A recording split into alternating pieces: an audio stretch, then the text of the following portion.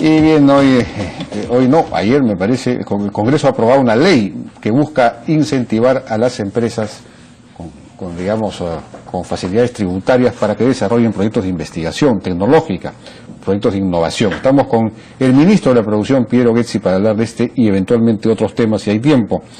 Eh, ministro, buenas noches, ¿qué tal? Buenas noches, Jaime, ¿Qué tal? ¿qué tal? Muchas gracias por la invitación. Sí, estamos efectivamente muy contentos porque el martes el el la Comisión Permanente del Congreso pasó este proyecto de ley para incentivar la investigación y desarrollo para la, eh, la innovación empresarial. Muy importante porque sabemos pues que el Perú está súper rezagado en esa área, en todos los índices de competitividad salimos pues en, la, en el 10% inferior en esos temas y gastamos 0.12% del PBI en, en, gastos de investigación y desarrollo. Pero punto 12 era la cifra anterior, clásica, pero ya es más, ya es más. Ahora yo le escuchaba a la gente del FINCID y a otros decir que estamos por lo menos en punto 20 punto 23. Mm. Punto 23. Es, en realidad el número, el número depende, el número oficial es todavía punto 12.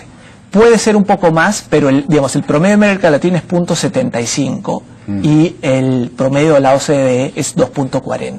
Lo que ocurre es que el punto 12, como en el momento no hay un incentivo tributario a la investigación y desarrollo, las empresas no la declaran completamente. Sí, pues. Entonces puede ser que el número sea un poco más alto, pero igual, digamos, gastamos, en, inclusive el punto 2 es la tercera parte que el promedio de la región y mucho menos que Chile y bueno, Israel gasta 4%.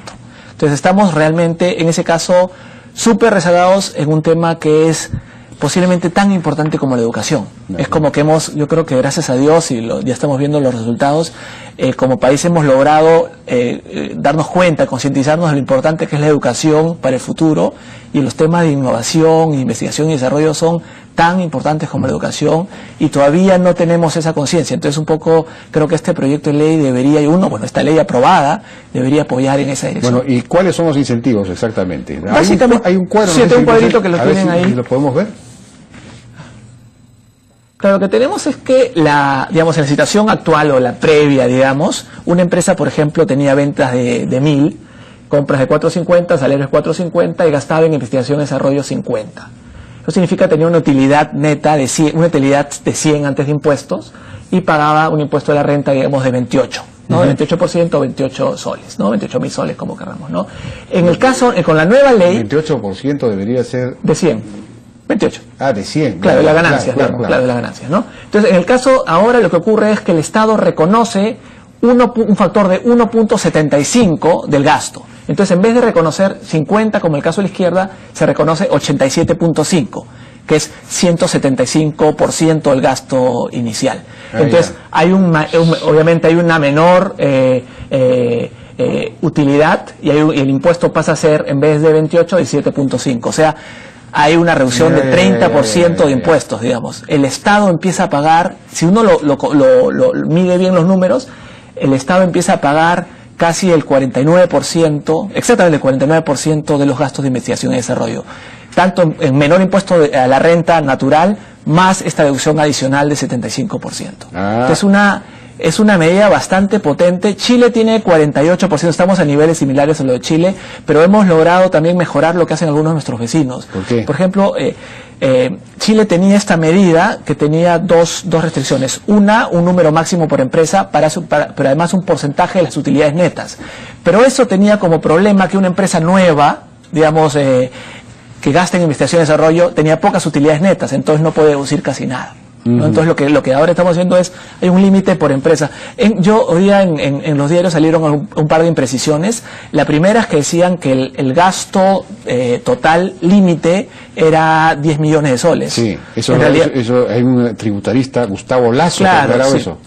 Claro, esa información no es correcta. No es correcta. No es correcta. Lo que es lo que el límite el gasto en inversión en, por empresa, por empresa. El límite en, por empresa en inversión en eh, investigación, y desarrollo. y desarrollo. Claro, el gasto límite por investigación y desarrollo es alrededor de 25 millones de soles.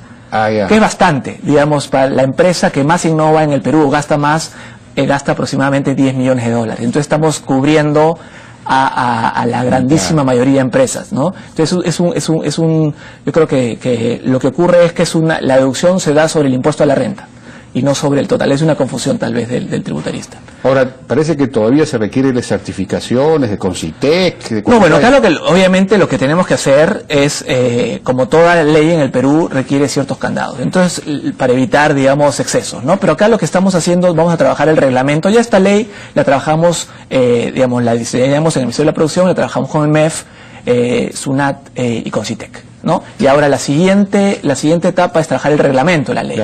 Tenemos que pedir requisitos que sean razonables, porque nosotros hemos tenido mesas técnicas con el sector privado, con las empresas que innovan, y lo que, y lo que, lo que nos dicen es, si nos obligan a revelar demasiada información, no vamos a, no vamos a, entonces, eh, yo creo que es importante darnos cuenta que lo que vamos a pedir son información necesaria para evaluar, pero tampoco excesiva.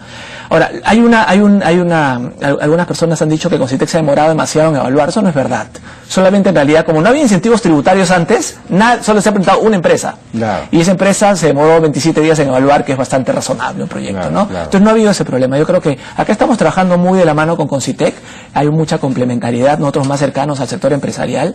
Yo creo que eh, lo que está, lo, lo, que fue bueno en esta ley es también, como se presentó al final del año pasado, tuvimos tiempo para, para mejorarla, para, para consultar con el sector empresarial y ver también qué, qué, qué cosas hay que hacer para que eventualmente para que funcione bien. Porque creo que la parte más difícil siempre es que funcione. En el Perú hemos hecho muchas leyes que tienen tantos candados que al final se vuelven inefectivas. Entonces, ¿para qué lo hicimos? Entonces, este caso es tenemos que hacer que esto funcione para cerrar esta brecha, pues, que es total. Bueno, muy bien, es un avance. Esperemos que efectivamente el reglamento sea eficiente.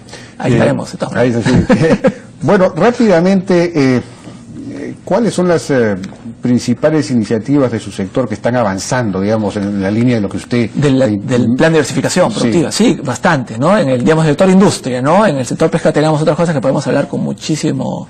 Eh, eh, en cualquier momento. Pero en el sector, en el sector industria estamos trabajando en, en estas mesas técnicas ejecutivas con, eh, ahorita hemos comenzado con dos sectores y tenemos dos más. Que son agricultura y forestal, con un avance tremendo. La ¿Ah, verdad es que sí, la verdad es que el sector privado, digamos, por ejemplo, teníamos veintitantas barreras burocráticas. El sector privado lo que, lo que hacemos es nos sentamos, el sector público, el sector privado. Ya. Eh, y el sector público se sienta, por ejemplo, para forestal, Serfor o Sinfor, eh, el MINAM, mm. el Ministerio de Agricultura propiamente, produce, y los, los gremios, digamos, ¿no? Entonces lo que encontramos, empezamos a ver es cuáles son los problemas que tienen los gremios para para que, este sector eh, vuele, pues, ¿no? Y, y, muchas veces lo que ocurre es simplemente que el sector público, que no está coordinado siempre, o muchas veces no está coordinado, mm. solamente sentado en la mesa se da cuenta que hay cosas que se pueden mejorar simplemente por estar conversando. No hay, es como es un, eh, es el espacio de diálogo. Es tan exitosa esta mesa que se están reuniendo todos los martes. El sector privado pide que se reúnan. También la mesa acuícola. esta, la mesa acuícola también es una mesa bastante en que estamos viendo el sector privado viniendo todas las, ¿no? De manera muy frecuente con nosotros y diciéndonos, tenemos un espacio por lo menos para conversar y, y, y nosotros la restricción que hemos puesto es no se van a discutir acá exoneraciones tributarias. O sea, hay una metodología de trabajo. acá no es para que me bajes el impuesto de renta a la mitad, ni mucho menos, sino qué puedo hacer en términos de bienes públicos, de, temas de innovación y en temas de reglamentos, normativas o cosas similares y coordinación que puede hacer que este sector despegue. Y tenemos, hemos comenzado con estos dos, y hemos tenido pedidos de industrias creativas, hemos tenido pedidos también, eh, no, de, no de, sectores, sino de, por ejemplo, el Olmos Mm. El proyecto Olmos tiene un sector privado bastante organizado y requiere la intervención de muchos ministerios a la vez. Y como el sector público, como hemos conversado, en el Perú está organizado de manera sectorial, es mucho más fácil sentarse juntos y encontrar problema, solución, digamos, encargado y fecha. Y estamos así trabajando, en vez de estudios y análisis, digamos, esto es muy ejecutivo y cuando una mesa logra sus objetivos, digamos, se gradúa y cuando y si no funciona porque tal vez el sector realmente no tiene potencial simplemente se clausura. Y yo creo que, lo que lo que lo que es muy importante es que el sector privado es el que le tiene que dar continuidad a la mesa. El sector privado no tiene interés es que no está funcionando bueno, es interesante. Parques industriales también, pero ya... ¿Ah, ¿Parques industriales? Sí, claro, sí. hemos Tenemos ya el terreno en, en, en, Ancón. Sí, famoso eh, terreno en Ancón. Exactamente, tenemos ya asignado. No había, no había en el Perú realmente ningún parque industrial que había funcionado bien. Estamos trabajando a dos, a dos niveles, ¿no? Primero, en el parque industrial de Ancón, donde estamos identificando la demanda, haciendo el, plan maestro y creando, digamos, lo que va a ser una, una, polígono inicial, digamos, de unas 100, 200 hectáreas eh, posiblemente. Y después tenemos pedidos en todo el país, en Olmos, en Pucallpa, estamos trabajando con la zona franca en Tacna. Sofra Tacna tiene una maravilla que es pues una eh, ser impuesto a la renta y no funciona, porque la tramitología es tan, eh, tan grande que simplemente las empresas prefieren estar afuera porque estar adentro les aumenta los costos tanto que más que compensa, que es increíble. Entonces nosotros hemos mandado, lo que, lo, lo que hemos hecho en el Ministerio de la Producción, hemos encontrado un grupo de gente que son destrabadores profesionales. Entonces hemos mandado un grupo ahorita a Tacna para ver cómo ayudar a que Sofra Tacna funcione. Ah, Estas cosas elementales eh, en, digamos, en, tramitología, pero también en regulación, son cosas que ayudan muchísimo y se va aprendiendo, ¿no? La innovación es fundamental, factoring lo pasamos hace dos semanas para reducir el costo de financiamiento de las MIPYME, entonces el plan está en completa ejecución. Rápidamente, ya nos ha ganado el tiempo, pero eh, dos eh, puntos específicos respecto del sector pesca. Salió a la luz esta, esta denuncia sobre cómo así Martín Belaún del Ocio había ayudado a Pesquera Mar a, a, sacar unos, unas licencias, una, eh, ¿no? de, a unas autorizaciones de pesca para poder venderle la empresa a Exalmar y que, en fin, eso se culminó aparentemente, pero después ha habido una eh, finalmente eh, Produce va a otorgar los permisos de pesca o no? Bueno, Produce, lo que pasó en ese momento es el director de ese momento, en, eh, director general en ese momento, eh, dio el permiso basado en una orden judicial Después, en realidad, hay, había órdenes judiciales, eh, digamos, contradictorias entre sí y el sector de producción no ha otorgado nada. en realidad, porque estaba con la misma cuota de pesca, se estaba tratando, en, esencia, dar tres cuotas que se sobreponían. Creo que estuvo la presidenta de la SNP tratando de explicar, es un caso complejísimo de manera legal, imposible de realmente entender, pero la realidad es que nadie se ha beneficiado de esto, ¿no? y hay el pedido de adelantar la, la pesca mm, ahora a marzo. No, no tiene ningún sentido. Lo que tenemos que hacer es las cosas muy científicas. No eh, existe este frente que en realidad es una persona.